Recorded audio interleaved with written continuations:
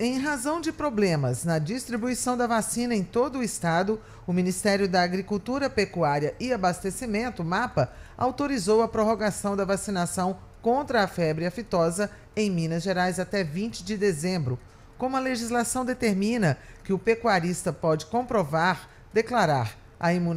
imunização até 10 dias após o término da campanha, este procedimento também foi adiado, ou seja, o produtor mineiro poderá declarar a imunização de bovinos e bubalinos de 0 a 24 meses até 30 de dezembro. O produtor que não vacinar os animais estará sujeito a multa de 25 unidades fiscais do Estado de Minas Gerais por animal, o equivalente a R$ 98,60 por cabeça. A declaração de vacinação também é obrigatória e o produtor que não o fizer até 30 de dezembro poderá receber multa de 5